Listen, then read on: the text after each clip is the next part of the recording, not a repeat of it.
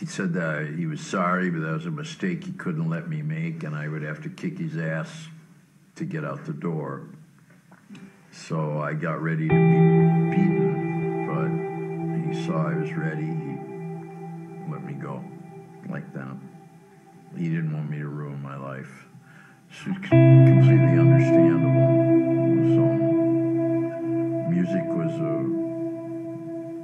Very, it was not a career description at that time. It was a really ridiculous occupation. Basically, there were there were th- three or four, maybe there were ten rock stars in the whole world. Half of them were in the process of dying already, and um, otherwise, to be a musician just meant to be